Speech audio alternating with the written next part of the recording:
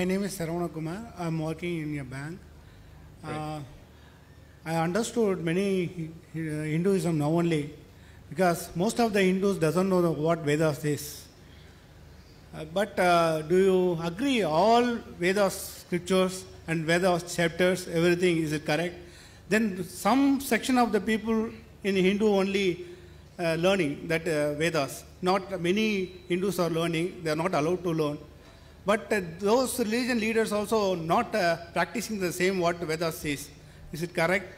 Then why they are doing like that? Please answer me. Thank you. That's a good question. The first question was, do I believe with everything what the Vedas say? Point number two, the Vedas, only a selected few Hindus, learned people, they read, others are prevented from reading. Why? Point number one, do I believe in everything of the Veda?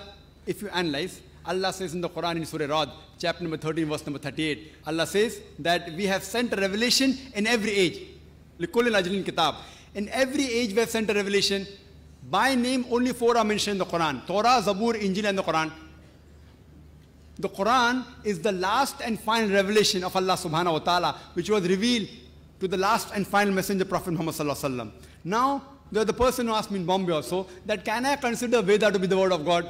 Do I consider Veda totally to be correct? See, by name, only four are mentioned, Torah, Zabur, Injil and Quran. But there were many books revealed by Allah subhanahu wa ta'ala. Now regarding Veda, can I consider the word of God? Since Veda is not mentioned by name in the Quran or in any authentic hadith, I cannot say for sure that it is the word of God. I can say maybe it is, maybe it is, maybe, maybe not. But even if Veda was the word of God, it was meant for those people and for that time. Today, we have to follow the last and final revelation, that is the glorious Quran for the whole of humankind. Regarding your question, do I believe everything in the Veda? Allah says in the Quran in Surah Baqarah, chapter number 2, verse number 79. فَوَيْلٌ لِلَّذِينَ يَكْتُبُونَ الْكِتَابَ بِأَيْدِيهِمْ ثُمَّ يَقُولُونَ هَذَا مِنْ عِنْدِ اللَّهِ لِيَشْتَرُوا بِهِ ثَمَنًا قَلِيلًا فَوَيْلٌ لَهُم مِّمَّا كَتَبَتْ أَيْدِيهِمْ Woe to those who write the book with their own hands and then say this from Allah, to traffic with it for a miserable price. Woe to those for what they earn, woe to those for what they write. Now we realize that all the previous scriptures of Almighty God, by the passage of time, they have got corrupted. They have been changed. Today we don't have the Injil in the pure form. The Bible that we have, it is not the Injil which was revealed to Isa. They have changed in passage of time. So even if Veda was the word of God today, it has not maintained its pure form and all the Hindu scholars, they agree. So Allah says in Surah Hijr chapter 15 verse number 9 that we have revealed the Quran and we shall guide from corruption.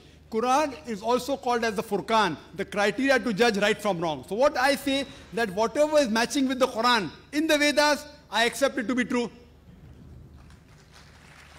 What doesn't match, I leave it aside. Because Veda hasn't maintained its pure form according to the Hindu scholars. So what I say, whatever matches with Quran, I say I've got no objection. This part may be the word of God. But I don't agree everything of the Vedas. There are many unscientific points in the Veda. I can give a talk on that, which I don't intend giving. I can give hundreds of unscientific things mentioned in the Vedas. So what I say that this is the Furqan, the criteria.